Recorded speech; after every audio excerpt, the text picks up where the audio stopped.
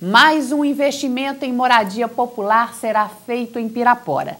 Na tarde de ontem foi assinado contrato entre a Prefeitura e o Banco do Brasil para a construção de mais de 400 casas no conjunto residencial Morada do Sol, no bairro São Geraldo.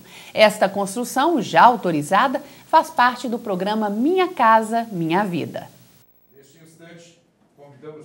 Realizada no gabinete do prefeito Léo Silveira, a cerimônia de assinatura do termo de adesão e compromisso para a construção de 485 casas em Pirapora reuniu cerca de 40 pessoas.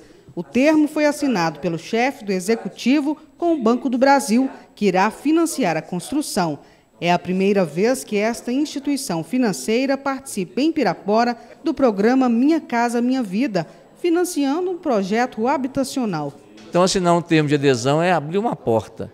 É como se fosse aquele programa que fala a porta da felicidade, porque é a porta do acesso a uma casa. Eu fico feliz de ter essa oportunidade de poder oferecer ao povo de Pirapora, a quem mais precisa, essas novas 485 casas. A cerimônia de assinatura do contrato da Prefeitura com o Banco do Brasil foi comemorada por autoridades e representantes de vários órgãos que participaram do evento que oficializou este esperado investimento em moradia popular.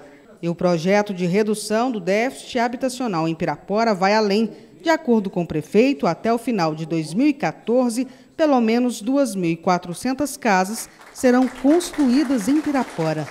No momento, já estão sendo terminadas aquelas 114 lá no Morada do Sol 2 e já foi iniciada as 570 né, é, do novo conjunto lá também no São Geraldo. Então, nós vamos ter aí nos próximos dois anos uma oferta de casas muito expressiva para o povo de Pirapora.